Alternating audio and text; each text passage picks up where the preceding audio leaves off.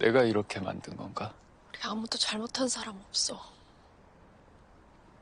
근데 이만큼 멀어져 있잖아. 그냥 이렇게 된 거야. 다 내팽겨치고 한국 오는 거 너도 원하는 일이 아니라고 생각했어. 어, 아니야. 그럼 내가 어떻게 했어야 됐어? 백이진. 누가 잘못했고, 잘했고 그런 걸 말하려는 게 아니야. 그냥 더 이상 이 사랑이 나한테 힘이 되지 않아. 미안해하고 원망하면서 서로 갉아먹는 거, 그거 그만하고 싶어. 우리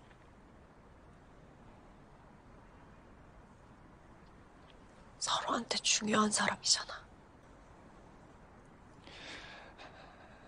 헤어지는 거 이미 하고 있었어, 우리. 안 보고 살 순 없겠지. 겹치는 지인들도 많고, 또 오다 가 다 동네에서.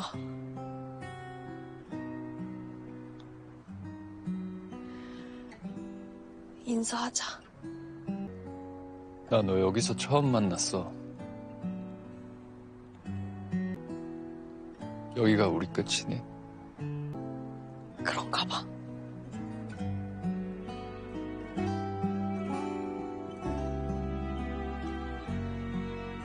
qué?